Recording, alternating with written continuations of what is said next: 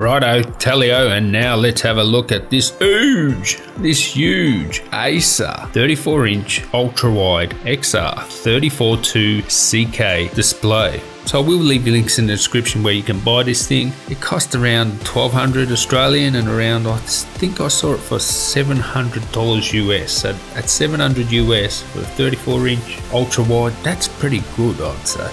And you know, Acer, they have a lot of pedigree in gaming displays with their Predator line. So I think a bit of that has gone into this monitor as well. And this thing is just epic. It is huge, as Tiny Tom would say, it is enormous. Now, usually when you buy a monitor, it's either great for gaming or it's great for content creation or content consumption. This thing is probably perfectly balanced. It can be used for either productivity, content creation, content consumption, and it's also good for gaming.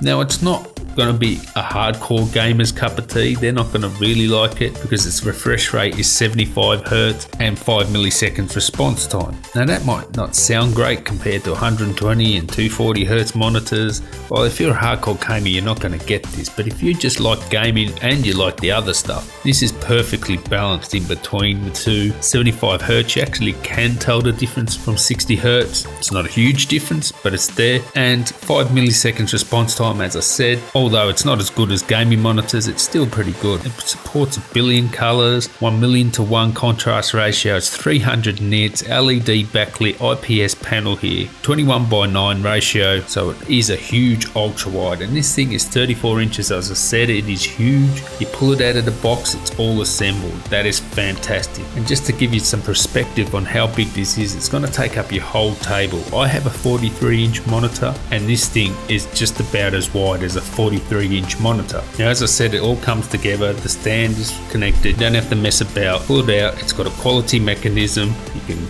adjust it up, down, left, right, and you can also tilt it up and down. So the adjustment mechanism works really well and you will be able to get that perfect position with some monitors you can't quite get. Now it is curved as I said the reflections are so well controlled you cannot see any reflections on this at all. I guess maybe the curvature helps in that regard, but reflections are extremely well controlled. It is color accurate too, so it's great for content creation as I said, and it's virtually like having two normal screens put together. So it'll be great for productivity as well. Or when you play a game like this, you are really immersed, especially if you're close enough. It just takes up pretty much all of your field of view and you do really get into it. If you look at something like Premiere Pro, have a look at this timeline. Yes, you get a massive timeline. It is awesome to have that. Now, if you turn around to the back, on the left hand side, you have the OSD displays. You have like a control nipple and three buttons there, power button and two function buttons there. On the right hand side, you have four USB three connections there and you use a USB-C to connect your computer to use that port. One of the things I don't like about this is how you have to mess about trying to put in the power cable and the display port or the HDMI.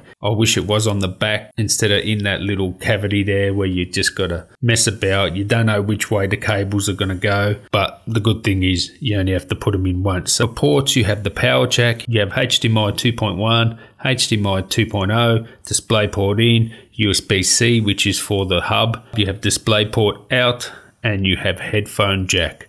So you're fully loaded with ports there. Also on the back, you can see the speakers there. They are 2 by 75 watt DTS tuned speakers there. They're not that loud. I'll say they're not that loud, but the quality is quite good. Now, in terms of color gamut, you're going to get 100% sRGB. So you've got enough color gamut there for your movies and if you're creating content, especially for the web. Now, using the on-screen display or the tuning, you have gaming modes, you have movie modes, etc. And you can max out that overdrive on the gaming settings. There are a plethora of tuning options with this. It's very easy to use, intuitive to use with that nipple and just a couple of buttons there. I didn't even have to figure out how to use it. It was pretty simple. I turn most of that stuff off, but it's there for you anyway if you want that. And it is an improvement over the 341, which is the previous model. It's pretty legendary, that one. And this one is better in terms of that on screen display. Now, 300 nits brightness might not sound that bright, but it's plenty bright. I actually have it at around 75% and I find that's fine. Even when I do have the window open, still it's pretty bright. So if you want an ultra wide monitor, that's pretty much a perfect balance in between media, content creation, productivity, and gaming, this has got to be right up there. All right, it's not the fastest, most highest refresh rate gaming monitor, but it does have a higher refresh rate. And for all the other things, it excels at. So it's a perfect blend of the two, and it's probably something I would use because I don't want a full on gaming monitor, but I do want a monitor that is good for gaming, but I want it